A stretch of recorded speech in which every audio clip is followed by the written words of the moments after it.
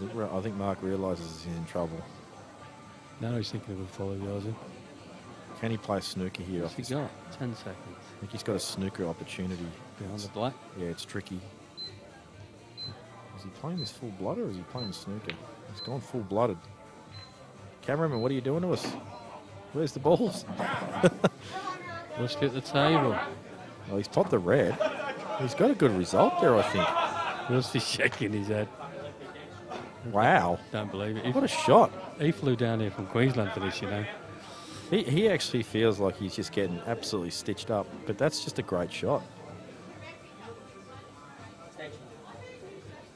Using his extension. I mean, given the position Marc was in, that was a great aggressive shot where he's produced an opportunity to win the match.